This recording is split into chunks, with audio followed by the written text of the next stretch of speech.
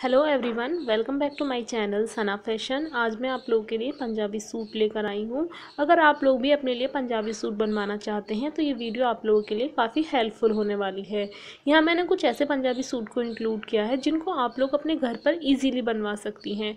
जैसे कि आप लोग चार मीटर का फैब्रिक परचेज़ कर सकती हैं, किसी भी एक कलर का आप लोग फैब्रिक परचेज़ कीजिए, उसके बाद उसको आप कस्टमाइज़ करा लीजिए। अगर आप लोग के पास कोई ऐसे सूट पड़े हों जिसका दुपट्टा, शलवार एंड कुर्ता तीनों एक ही साथ आता है, जिस पर थोड़ा बहुत वर्क होता है तो आप लोग उसको, उस सूट को इस टाइप से सिलवा सकती हैं। अगर कुछ ऐसे हैं जो अपने घर पर पंजाबी सूट बनाना चाहते हैं तो वो एक काम कर सकते हैं, या तो आप सेम ही कलर का चार मीटर का फैब्रिक परचेज़ कीजिए। अदरवाइज़ आप लोग शलवार और कुर्ते का फैब्रिक अलग अलग भी परचेज़ करके अपने लिए बनवा सकती हैं। यहाँ मैंने कुछ ऐसे पंजाबी सूट को भी इंक्लूड किया है, जिनका दुपट्टा कॉन्ट्रास्ट में है। कुछ लोग ऐसे होते हैं जिनको तीनों colour dupatta shalwar and kurta same colour का नहीं पसंद होता है तो ये उन लोगों के लिए हैं। आप लोग अलग कलर का दुपट्टा भी उसके साथ चला सकती हैं।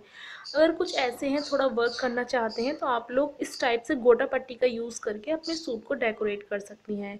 यहाँ मैंने लाइट पर्पल कलर का सूट रखा है। अगर आप लोगों को ये कलर अच्छा लगता है तो आप इस कलर को ज़रूर ट्राई कीजिएगा।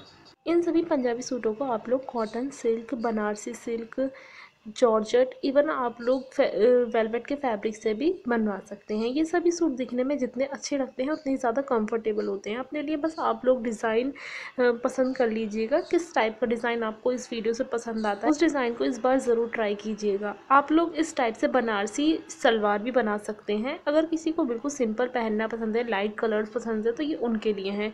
Please guys watch this video till the end तब तक के लिए बाय मिलते हैं नेक्स्ट वीडियो में। Thank you so much